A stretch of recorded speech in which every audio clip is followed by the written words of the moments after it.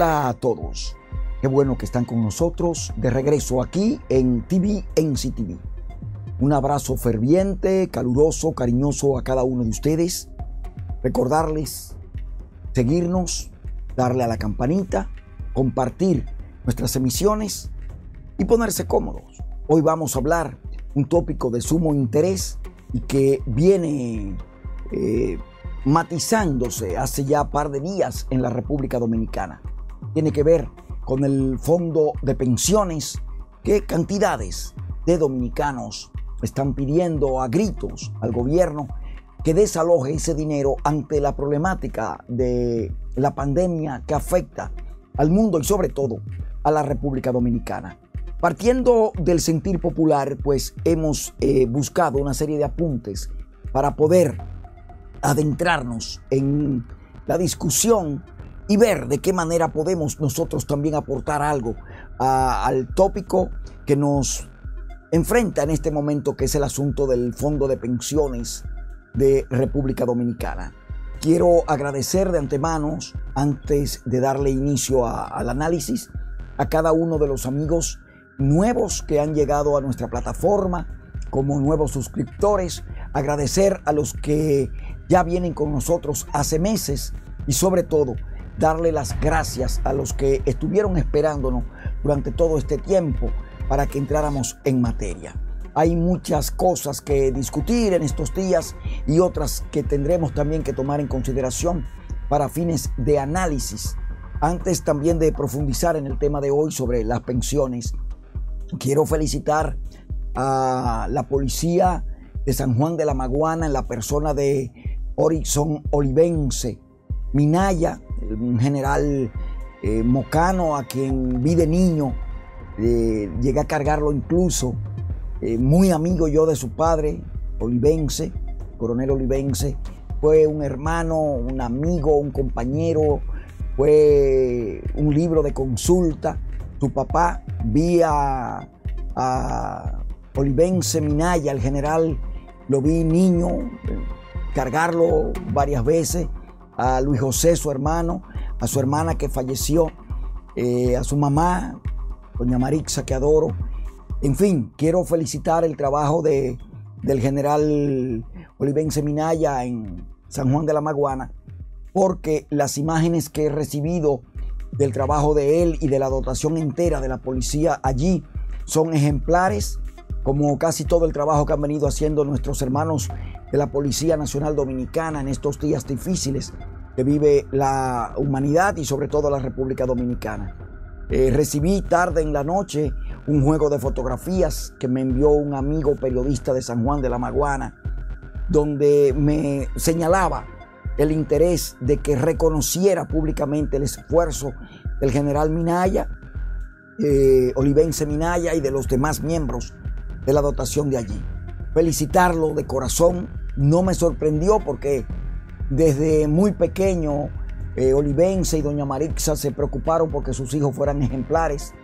Eh, su papá, aunque murió hace mucho tiempo, todavía los mocanos lo recordamos con cariño, con amor, con deferencia. Es un punto obligado cuando se habla de seriedad dentro de la Policía Nacional Dominicana.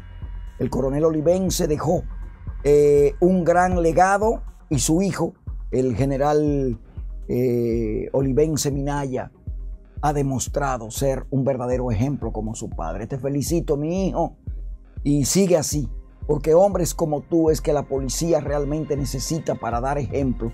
Creo que la jefatura entera debe sentirse orgullosa de ti, el gobierno central debe sentirse orgulloso eh, de ti por el trabajo que vienes realizando, dando ejemplo, pero sobre todo los mocanos todos, todos los mocanos, en nombre de tu papá, en nombre de tu mamá, en nombre de tu familia y en nombre de todos los mocanos que andamos por el mundo, te decimos gracias, Orson Olivense Minaya, por dar ejemplo de mocanidad, de civismo, de entrega y de disciplina para bien de nuestro país y para orgullo de Moca.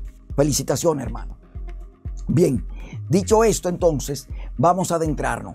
Dice que al 30 de septiembre del 2012, la Superintendencia de Pensiones había recaudado unos 186 mil millones de pesos, de los cuales un 71.1% correspondía en ese entonces a fondos de capitalización individual equivalente a 143 millones 504 mil millones, mientras que un 10.3% a planes de reparto individualizado con 19 millones 223 mil 9 centavos de millones.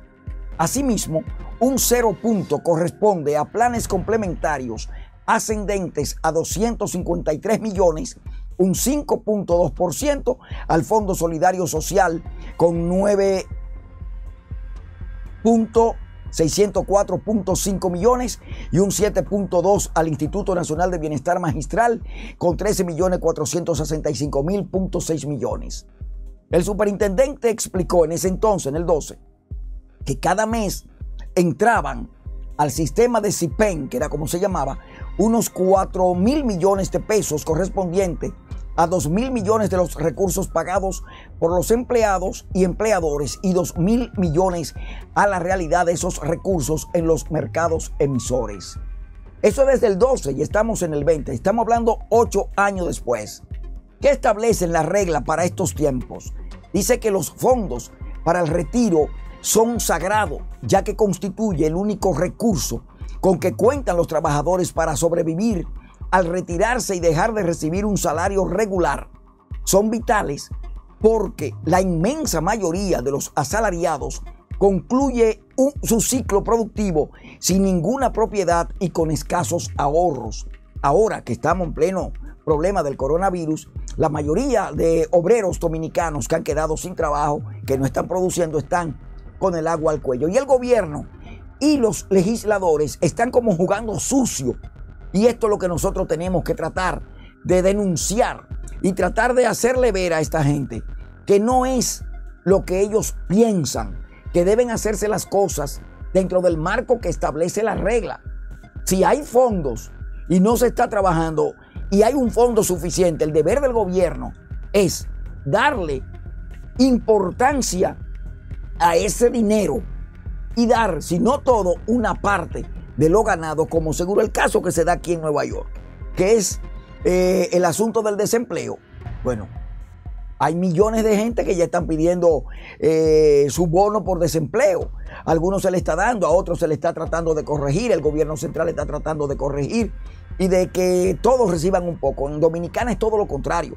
El gobierno no aporta, el gobierno no apoya, los políticos ¿Quién sabe si se han robado toda esta millonada de dinero del fondo de pensiones? Y creo que ahí se está jugando muy sucio por parte del gobierno de Danilo Medina. El ideal de todo trabajador es tener una casita para vivir con su familia.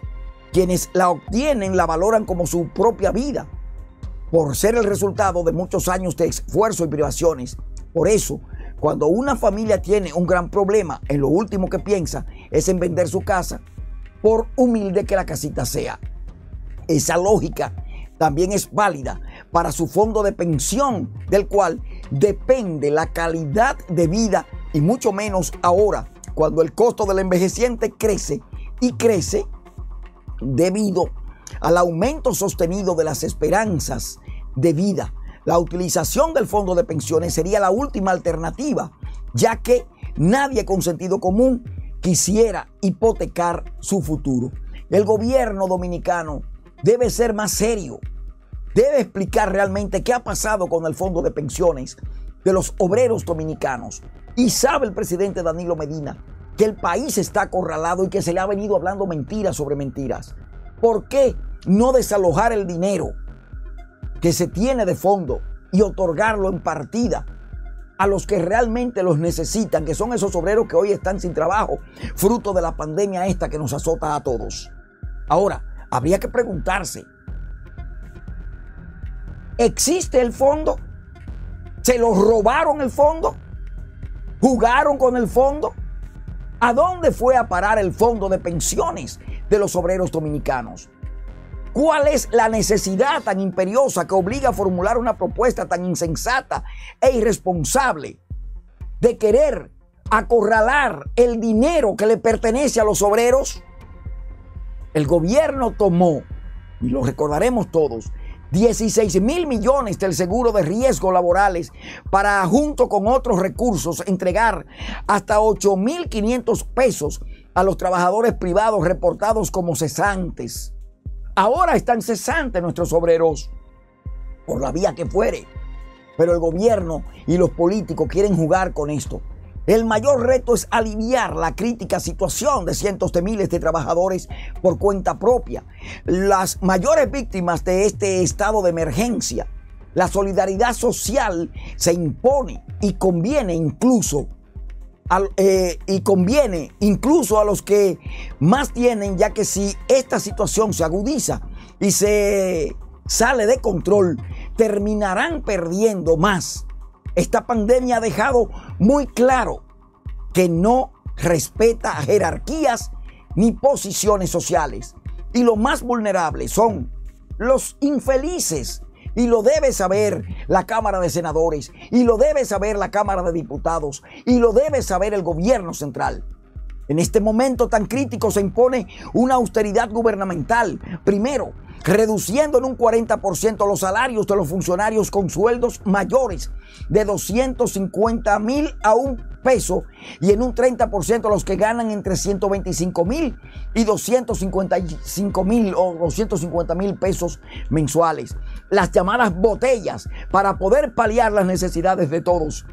Segundo, eliminar el barrilito y el cofrecito. Y tercero, utilizando los fondos para las obras públicas que no son imprescindibles y que están paralizadas. El limitado desempeño gubernamental comienza a desesperar a la población más vulnerables. Si no se contiene la propagación del virus en una semana, el país podría entrar en una etapa peligrosa en la que autoridades podrían perder el control de la situación, con consecuencias lamentables para todos los dominicanos. Estas ayudas y la paralización de la actividad económica son paliativos que suponen el rápido control de las muertes y del virus.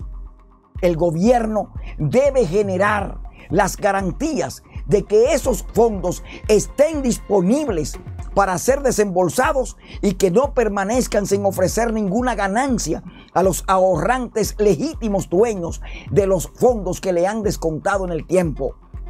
Se recuerda que un grupo de 27 diputados solicitaron a principio de este mes a la presidencia de la Cámara de Diputados poner en agenda la propuesta que busca dar un 30% de los fondos en las AFP a los trabajadores, petición que aún no ha sido aprobada y que algunos legisladores están tratando de que no se apruebe.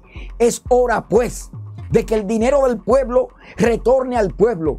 Es hora pues de que no esperemos que la pandemia se expanda más de lo que está dentro de las tantas mentiras que se están diciendo en República Dominicana y que ese dinero que es del fondo de pensiones llegue donde tiene que llegar y como debe ser. Déjese de charlatanería, Danilo Medina, y todo el gabinete, que ustedes saben que ese dinero no pueden usarlo, no pueden robárselo porque es el dinero que esos obreros pagaron fruto de su esfuerzo para su vejez y ahora quieren ustedes, como siempre, vender gatos por liebres. ¿Quieres suscribirte en nuestro canal de YouTube? Es fácil y rápido. Recibirás información clara y precisa de acontecimientos informativos de nuestro país. Realizamos un periodismo ético y creíble que puedes compartir con tus amistades. Suscríbete ahora y dale click a la campanita. Síguenos para que no te cuenten. Juntos somos más.